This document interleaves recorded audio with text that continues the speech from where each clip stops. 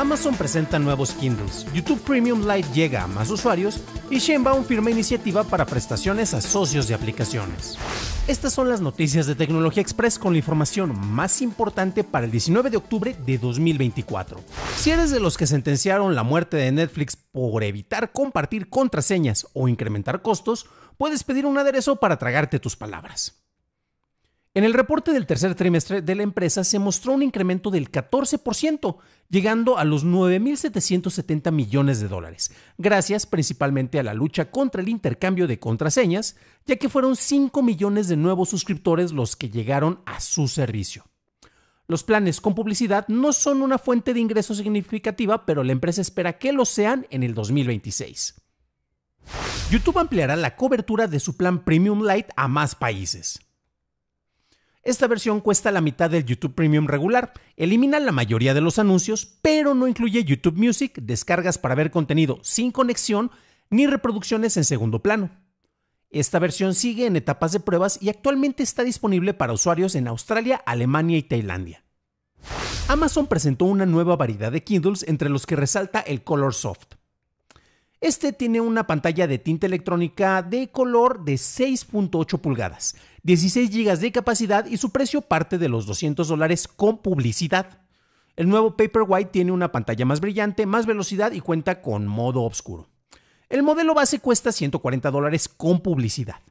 Finalmente, el Kindle Scribble, el cual permite tomar notas y tiene una pantalla de 10.2 pulgadas y resolución de 300 ppi, Cuesta 340 dólares en el modelo básico e incluye una pluma para poder escribir notas directamente en la pantalla. El pasado martes, Apple presentó un nuevo iPad mini más rápido, siendo la primera actualización de este dispositivo desde el 2021.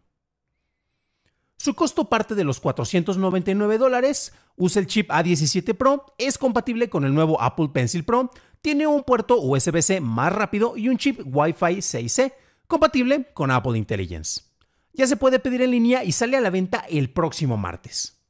Pasamos a la noticia más importante del día, y es que la presidenta de México, Claudia Sheinbaum, firmó una iniciativa que busca que los conductores y repartidores de aplicaciones como Uber, Didi o Rappi cuenten con servicios de seguridad social de manera obligatoria. De acuerdo con las compañías de servicios, el principal obstáculo es la cantidad de horas laboradas por los socios, ya que los servicios del Seguro Social no son compatibles con un esquema en que las personas trabajan menos de 10 horas a la semana, que es el promedio de los colaboradores de aplicaciones. Estas fueron las noticias y ahora pasamos al análisis. Pero antes de hacerlo, recuerda que puedes tener estos episodios sin publicidad si me apoyas directamente en patreon.com, diagonal noticias de tecnología o con una suscripción en Acast. La lucha por obtener derechos laborales es algo muy importante y afecta en distintos niveles. Desde cosas que pueden parecer más etéreas, no sé, como la huelga de actores en Hollywood, hasta eso que vemos casi todos los días con las personas que ofrecen servicios de entrega por aplicaciones de comida o de transporte, como pasa con Uber, con Didi o con Rappi. Es en este segundo lugar en donde se hace una propuesta importante por parte de la presidenta de México, la cual merece una revisión más a detalle. Revisando el texto y según sus palabras, el objeto de esta ley es que tengan todos los derechos.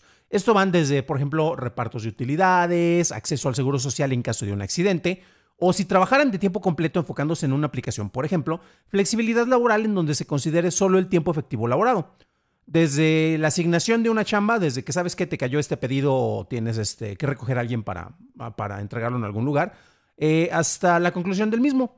También se busca que eh, se contemplen cosas como los derechos vacacionales, aguinaldo, reparto de utilidades, siempre y cuando se cumplan 288 horas anuales de trabajo efectivo. Esto sacando las cuentas y dividiéndolo en, manejos de jornadas de trabajo de 8 horas, un día regular de trabajo, eh, son como 36 jornadas de trabajo, 36 días, ¿no? También se busca que haya un manejo de contratos, que haya una inscripción, por ejemplo, al IMSS y protección en contra de la discriminación y el acoso. Todo esto excelente, la verdad. Pero hay algunos detalles que no necesariamente le agradan a sectores o a grupos de trabajadores, como lo es la retención de los impuestos.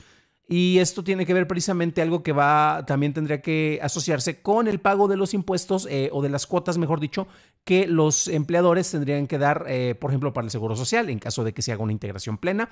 Y ojo, porque estos servicios em, no contemplan eh, medidas que se utilizan en trabajos más regulares y, por ejemplo, son algunas de las quejas o comentarios que personas como representantes de Uber ya han establecido, como que quieren meter en un esquema más tradicional algo que no aplica al esquema de trabajo que nosotros tenemos con nuestros socios conductores, ¿no?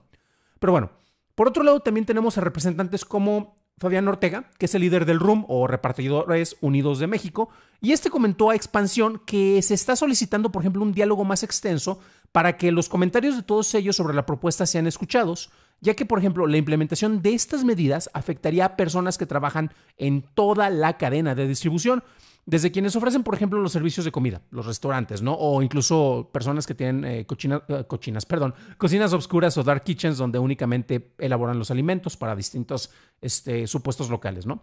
También están, se afecta a las empresas de las aplicaciones y desde luego esto también nos va a afectar a nosotros como usuarios finales. Y las visiones más negativas hablan, por ejemplo, de que habría un menor consumo debido a un incremento en los precios sobre lo que se está comprando. Por otro lado, tenemos un aspecto a considerar que es que hay varios socios que ya han expresado su preocupación, ya que esto implicaría un esquema más rígido cuando ellos valoran más su flexibilidad. Eh, una de las ventajas de trabajar para estas plataformas es que, ¿sabes qué? Hoy solo tengo chance de hacer una entrega, dos entregas, tengo media hora, pues puedo enfocarme en esto.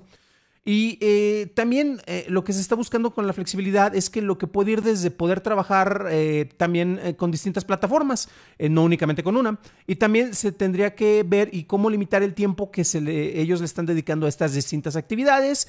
Y entonces, cuando uno empieza a ver esto, las ventajas a las que podrían acceder de, de que esta propuesta sea aceptada tal cual como está, pues no les estaría beneficiando del todo, ya que ellos no cubrirían muchos de los requisitos. El último punto que agregaría es que muchas de las ventajas que ofrecen el uso de estas aplicaciones de entrega tiene un costo y este debe de ser pagado de algún lado. Ha habido quejas, por ejemplo, de cómo Uber ya no es tan conveniente como lo era en sus inicios, ¿no?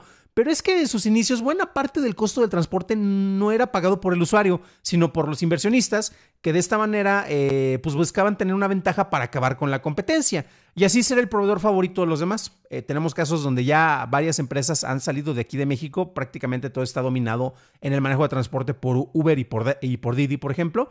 Eh, y ya se establecieron como las empresas que tú vas a, en las cuales solicitarías, por ejemplo, un transporte.